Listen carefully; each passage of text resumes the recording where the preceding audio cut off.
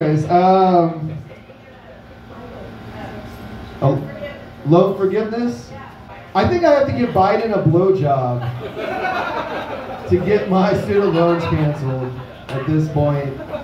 Even if he doesn't come, like if he does have an orgasm, it'll just be powder, you know, just poof.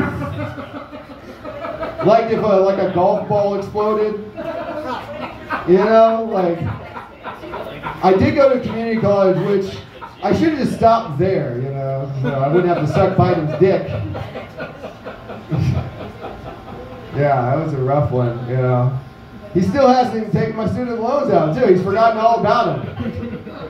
I mean, about me sucking his dick. I don't know. Just- It was good, too. I did a great job. So, my mom taught me always to be perfect. Do a perfect job.